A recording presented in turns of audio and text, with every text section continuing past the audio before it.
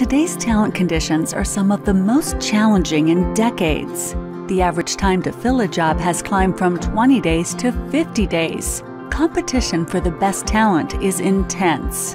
And while yesterday's practices and technologies aren't up to the task, the new Talent Code will help you face the future with confidence. Learn how to unlock the potential of your people and organization by applying the power of AI and talent intelligence.